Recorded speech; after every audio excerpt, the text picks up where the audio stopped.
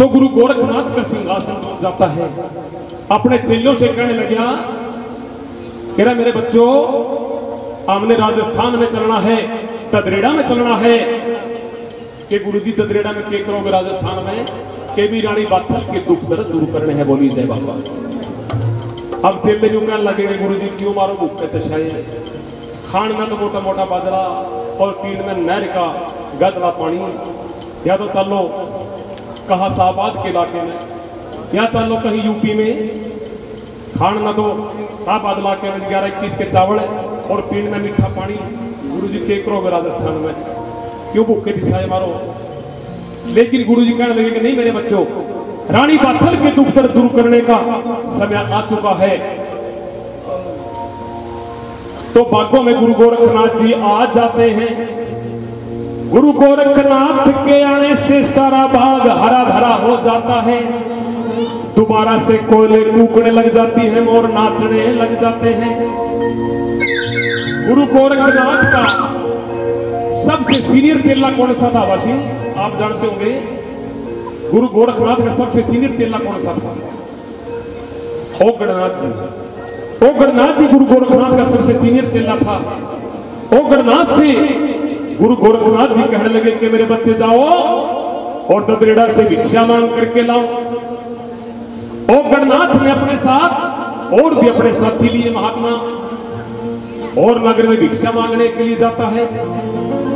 और कैसे क्या कहता है भला?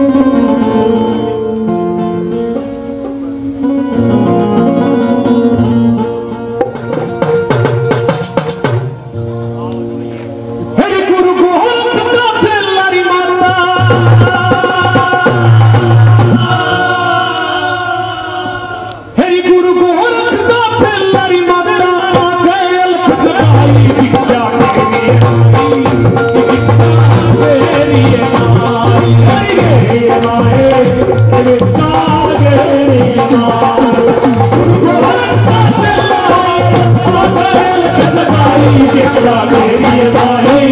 गुरु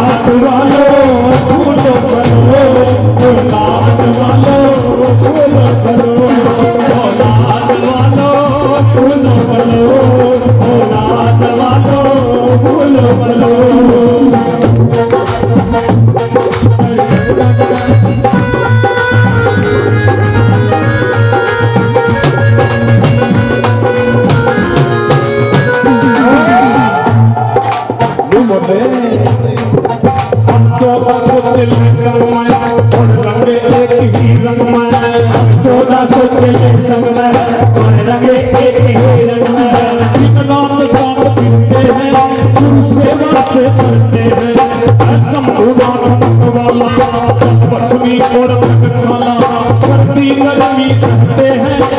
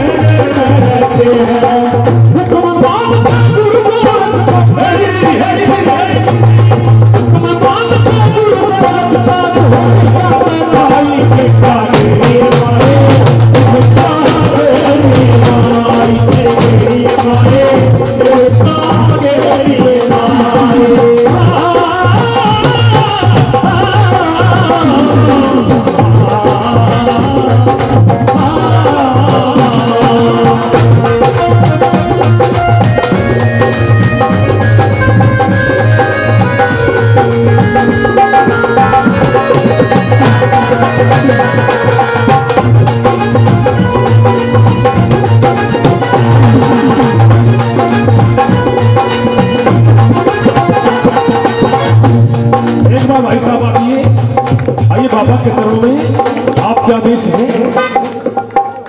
दो मिनट के लिए रुक जी। अरदास करिए आपकी जो भी मनोकामना है, बाबा पूरी करेंगे। है तो पागम गुरु कटेरा मोर बोल केरा पागम गुरु कटेरा मोर बोल केरा देख गुरु की माया सदा तेरा सदा पाग गुरु की धूना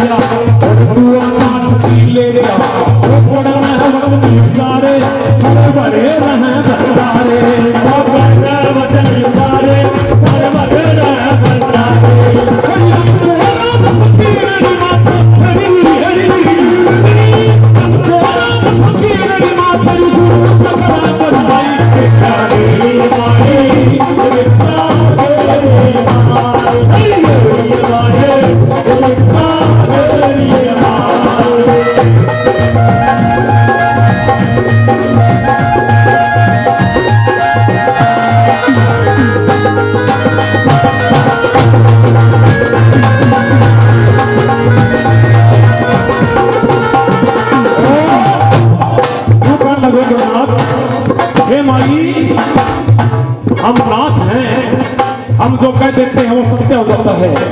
हमारी वाणी कभी खाली नहीं जाती। ये कहने लगे